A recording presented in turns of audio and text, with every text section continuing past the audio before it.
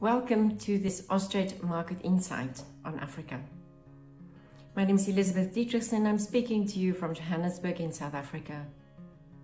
Africa has 54 countries. It's a very big continent. It's diverse, it's dynamic, and it has a population dividend that is expected to be 2.5 billion people by 2050.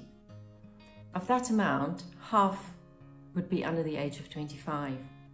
So this is the global workforce of the future.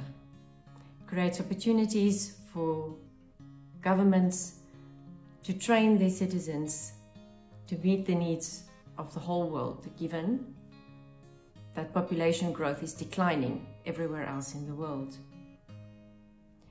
In Africa, we have many diverse countries, although there are similar challenges in education. Most African governments are not able to meet the needs in training and education of the current population, which means this is going to become a bigger problem down the track. African countries also realize for the economies to grow, they need trained and educated citizens. And the citizens themselves know that education is a way out of poverty and education leads to jobs. Some techno technological advances in Africa can be used to bring education to people. As we look at the example of mobile money, why not mobile education, mobile learning, using technology that can leapfrog classrooms to smartphones and virtual learning. There are a number of countries looking at Africa not only for extractives and agriculture, but also to build their own capacity and lengthen and strengthen ties. Look at China's Belt and Road, Turkey building factories in Ethiopia gives them a strategic advantage. Australia is somehow not that visible and it's something that we can change in this next decade.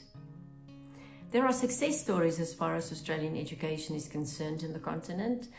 One of our flagships, of course, is Curtin Mauritius, aiming to establish themselves as a hub to bring education to African students in a pipeline to Australia.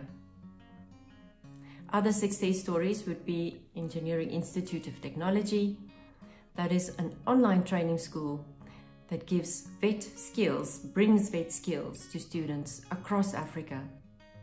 Idea Online is offering digital training to school kids reaching into Africa through their base in South Africa. Many partnerships and collaboration agreements have been signed in Mauritius with the University of Mauritius and other partners, extending the reach of Australian education, but more is possible. Opportunities exist across the continent to support teacher training, professional development, and also vet skills.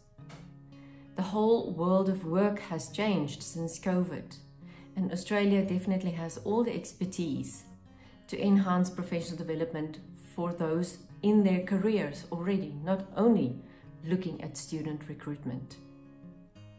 Speaking about student recruitment, it should be noted that many African students would go abroad to study even pre-COVID. The popular destinations, US, UK, Malaysia, Canada, are more and more being changed to look towards China. That's taking many African students teaching them Chinese Mandarin, and then sending them back to their countries with the necessary skills.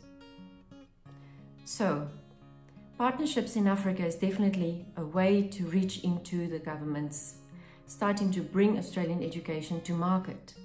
But it should be with care and much precaution. So Africa, definitely, there are many things that are dangerous, not only the animals. So choose your partnerships Ask Austrade, even though we may not be present in all these countries, we have networks. Let us reach out and check and double check to make sure these partnerships are beneficial on both sides. There are plenty of opportunities in Africa. Let's not delay any longer.